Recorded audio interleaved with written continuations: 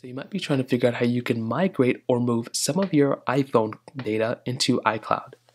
Now, doing this is actually fairly basic for the most part, but it depends on what you're trying to do.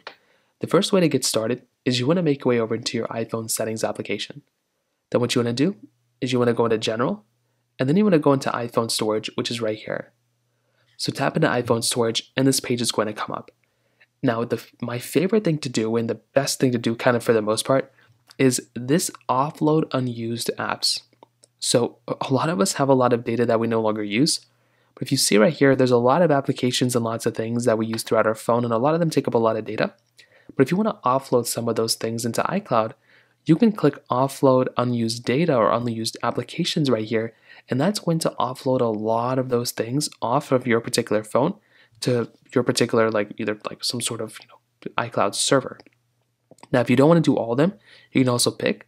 So let's say right here with Jurassic World, right? Let's say I don't want to use this or have this on my phone anymore. I can click offload app.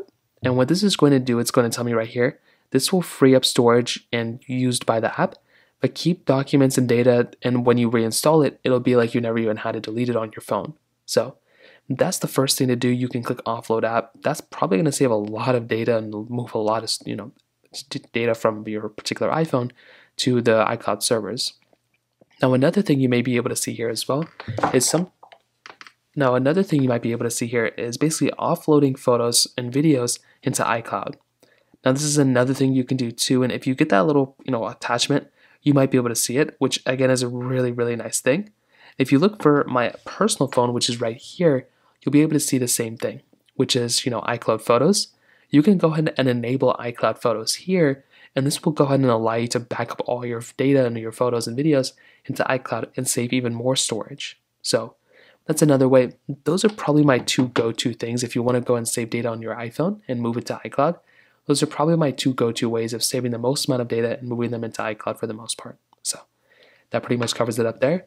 If you have any other thoughts or questions, let me know in the comment section below. Hit the like button, will mean so much, but definitely hit that subscribe button.